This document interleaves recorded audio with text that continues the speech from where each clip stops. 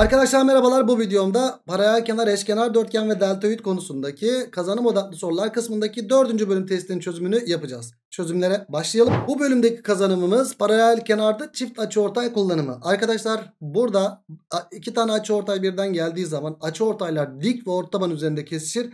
Önemli bir ifade bunu yamukta da kullanıyoruz. Yalnız açıortaylar bak burası dik, dik kesişir ve ortaban dediğimizde paralel çizeceksiniz kenarlara, paralel kenarın kenarlarına 90'ın içinden geçecek şekilde hop şöyle 90'ın içinden geçecek şekilde diğer kenarlara paralel çizdiğinizde bu da orta taban çizgisi oluyor arkadaşlar. İspat da Z'den geliyor zaten. Konu anlatımında da yaptık bunu ama bu önemli bir ifade bunu böyle bilin. E, dik ve orta taban üzerinde kesmesi. Mesela arkadaşlar şöyle bizim açı ortaylarımız böyle böyle olmuş olsaydı arkadaşlar bu da aynı şekilde dik ve orta taban üzerinde kesişecekti. Hemen açı ortaylar 90 derece kesişir ve orta taban çizgisi de tam 90 içinden geçecek. Bak böyle değil bu sefer. Aşağı yukarı diye doğru değil. Bu sefer böyle arkadaşlar. 90 içinden geçecek şekilde yataylara paralel çizilir. Evet bu ortaban çizgisi şöyle olacak. Hatta burada bir muhteşem üçlü oluşuyor. Hatta bu sorunun cevabı 5 ise burası da 5. Burası da 5. Burası da 5. Toplamda 10 yaptı burası. 6 10 ne üçgeni? 6 8 10 üçgeninden cevap 8 çıkar arkadaşlar buradan. Ee, iki, üç çözümleri de güzel bir şekilde yapmış. Ben de yapıverdim burada. Dik ve ortaban üzerinde kesişir. Burada çözümü de var. Biz isterseniz sorunu, sorulara başlayalım. Evet birinci soruyla çözümlere başlıyoruz. ABC'de paralel kenar demiş. Açı ortaylar nasıl kesir? Dik kesir. Ort tabanı hemen kullanmayalım. Baktık sonuç çıkmıyorsa ort tabanı da çizeriz hemen. 6 8 ne üçgeni 10 üçgeni. Sonra bir şey vermiş burada. BC AB artı 2 demiş. AB uzunluğu 10 olduğundan dolayı BC uzunluğu da 10 artı 2'den 12 oldu. Çevre ABC'de isteniyor. Çevre ABC'de ne yaptı? 10 artı 12'nin kaç katı arkadaşlar? 2 katı o da 22'nin 2 katından dolayı 44 yapar. Cevabımız böylelikle Akçay yaptı birinci soruda. Geldik ikinci soruya. Ha, hali, hali hazırda paralel kenar demiş ve şuna paralel demiş arkadaşlar. AD ile GE birbirine paralel demiş. E otomatikman şu x paralel verilmiş. Otomatikman bunun adı paralel.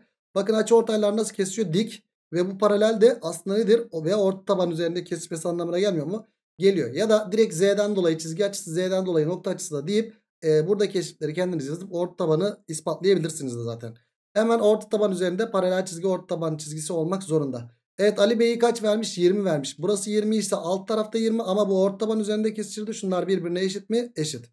E sonra bu ne oldu arkadaşlar? 20 birimde. Burada da muhteşem üçlü oluştu mu? Oluştu. 90'dan çizilen kenar ortay muhteşem üçlüyü oluşturdu. 10. 10 sa burası da 10. E tamamı 24. O zaman x'e kaç kaldı arkadaşlar? 14 kaldı. Evet ikinci sorunun cevabı böylelikle Akçay oldu. Geldik üçüncü soruya. Açı ortaylar dik ve orta taban üzerinde kesişir. Yani devamı orta tabandır. Eşit eşitse muhteşem üçlükten eşit olacaktır. Şimdi ne çıktı burada? Buraya x demeyelim. Buraya y dersek hocam burası da y burası da y. y artı 13 ise yukarısı da y artı 13. Şimdi dikkat edin çevresinden bahsetmesi bize. Şu ikisinin toplamı kaç yaptı? 3y artı 13 mi yaptı? Evet. Çünkü burası 3 değil 13. 3y artı 13. Çevre dediğimiz 3y artı 13'ün 2 katı. O da kaça eşit? 86'ya eşit. 3y artı 13 buradan 40 kaça eşit oldu? 43'e eşit oldu. Y de buradan kaça eşit oldu arkadaşlar? 10'a eşit oldu. E, y 10 sa o zaman burası kaç yaptı arkadaşlar? 20 yaptı. Çünkü burası 10 olduğundan şurası da 10 olduğundan. E, şuradaki Pisagor bağıntısından da 12 20 ne üçgeni? 12 16 20 üçgeninden dolayı cevabımız ne çıkacaktır? 16 çıkacaktır sevgili gençler. Yani cevap Edremit oldu 3. soruda. Geldik 4. soruya. Açı ortaylar dik ve ortaban üzerinde kesir. Tam bu ortaban üzerinde bu da ortaban üzerinde. Yani sen bu ortaban çizdiğinde ve bu ortaban çizdiğinde hatta bu doğrusal olacak ya böyle. Hepsi de doğrusal olacak. Hocam burada eşit eşitken muhteşem üçten burası da eşit olur. Eşit eşitken ortabandan dolayı bu da muhteşem üçten eşit olur. E hocam şuraya bakacak olursak burası 20 burası 20 e, otomatikman 20 oldu. E burası 40 iken burası da 40 ya bu da 20 20 otomatikman burası 20 oldu. Şunun tamamı kaç olacak? 72 olacak. Yani 20 artı 20 artı x eşittir 72 olduğundan x'e de kaç kalıyor gençler? x'e de 32 kalıyor. Evet cevabımız böylelikle Balıkesir oldu dördüncü soruda. Geldik 5. soruya. Sadece bir tane açı ortaylık var. Arkadaşlar ne var burada? Z'den dolayı burası da nokta açısı yaptı. E, noktaya nokta olduğundan bunlar birbirine eşit oldu mu? Oldu. Arkadaşım şunu bir paralel kenar vermiş adam bize. E, paralel kenarsa 5 ise burası da 5 değil midir otomatikman? Evet. E burası 5 burası 5. Aa bak burası da 5. Yani burası da çift çizgi. Ne çıktı burada? Muhteşem. Yani burada kaçı? 90 derece olacak. 6 ve 10. E o zaman şuradaki dik üçgene bakacak olursak gençler bakın 6 10 ne üçgeni? 6 8 10 üçgeninden cevabımız böylelikle 8 çıkar. Beşinci soru Akçay oldu. Geldik altıncı soruya. Şekil 1'de verilen şoför koltuğunun altındaki dikdörtgen biçimdeki mekanizma ile koltuğun yüksekliği ayarlanırken şekil 2'deki duruma gelindiğinde koltuğun yüksekliği bir miktar azalarak dikdörtgenin kenarları değişmeden paralel kenar biçimini alıyor. Evet bu kenarlar değişmiyor. Paralel kenar biçiminde olmuş. Hala bunlar ne arkadaşlar? Onar birim. Arkadaşlar açı ortaylar paralel kenarda nasıl kesiyordu? Dik kesiyordu. Şuraya bir alfa alfa diyelim. Şuraya da beta beta diyelim isterseniz. 12 16 ne üçgeni 20 üçgeni. Bizden ne isteniyor? Son durumda paralel kenarın iki köşesinden çizilen açıortay uzunlukları 12 ve 16 birim olduğuna göre koltuğun yüksekliği başlangıçtaki duruma göre ne kadar azalmıştır diye soruluyor.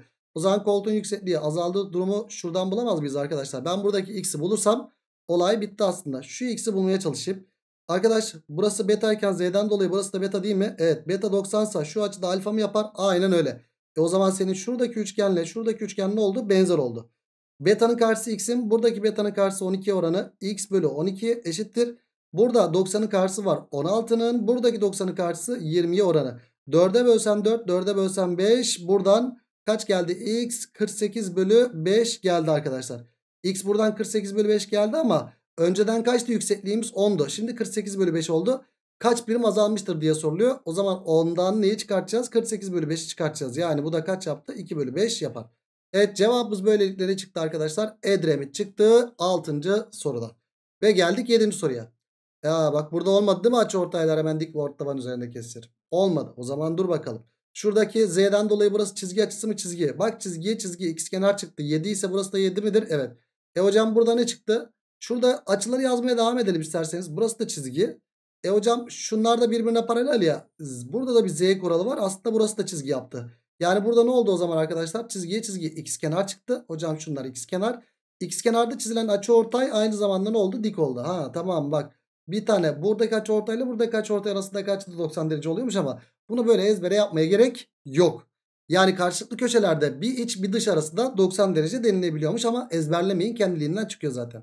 Bu arada dikkat edin bunun tamamı 12 idi. E o zaman burası 12 ise burası da 12 olacak tamamı. Buraya ne kaldı? 5 kaldı. Burası 5 iken burası da 5 yaptı. Bizden CG uzunluğu isteniyor arkadaşlar.